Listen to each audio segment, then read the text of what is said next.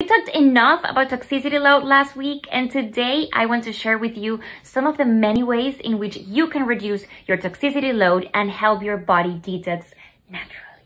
Number one, remove. The first and most crucial step is to stop.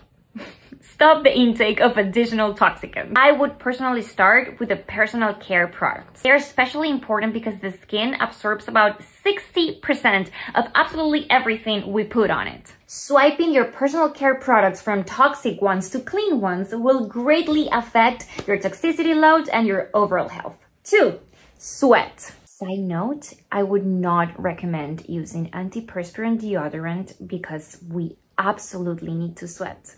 Sweating is one of the most effective ways in which our bodies detox.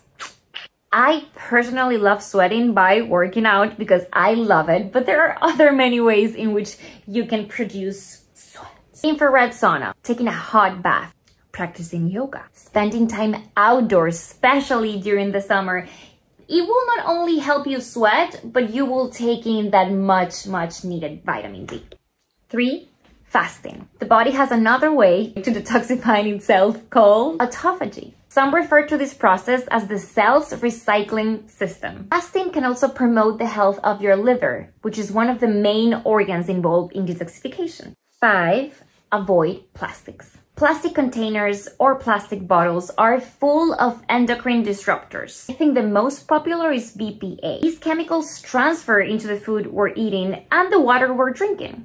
Six, Choose organic produce and fruits whenever possible and also please choose organic grass-fed free-range meats. Seven.